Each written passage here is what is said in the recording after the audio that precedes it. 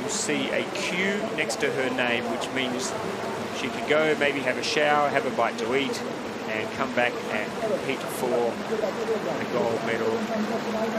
Now, last week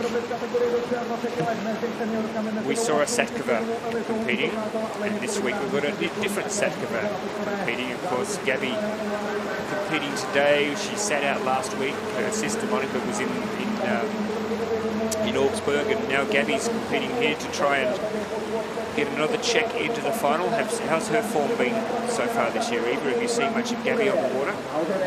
Yeah, she, she is really good in, in the sessions, and then she just put it to the race. You just see even like no mistakes during the sessions. That's why she can make it really easily then in the, in the races.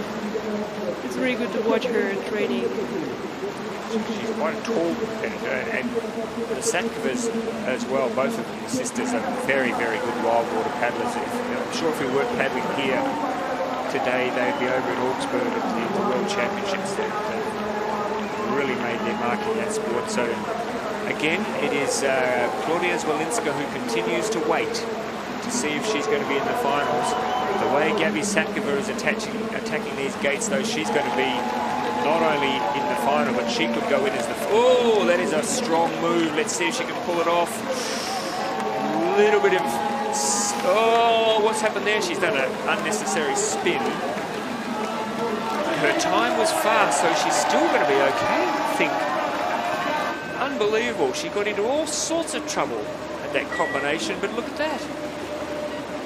Explain that to me, Eva, please. I don't know if she saw